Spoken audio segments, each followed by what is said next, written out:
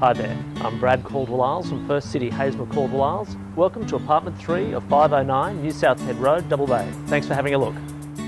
A sophisticated garden sanctuary located just a short 200 metre walk to Double Bay's vibrant shopping village. This fully renovated apartment offers exceptional interiors and generous proportions designed for relaxed leisurely living, with a lounge and dining area of genuine warmth flowing seamlessly onto a private courtyard and beyond to common garden, coupled with two double-sized bedrooms, both with built-in robes, the master with ensuite. The residence further affords stylish, sleek parquetry floors, plantation shutters throughout, and a gourmet granite kitchen for entertaining. Positioned on the ground floor at the rear of a quiet security block with level lift access from large lock-up garage and lobby, this lovely home is perfectly located for those looking for a convenient cosmopolitan lifestyle close to Redleaf Pool, boutique shopping, cafes and transport.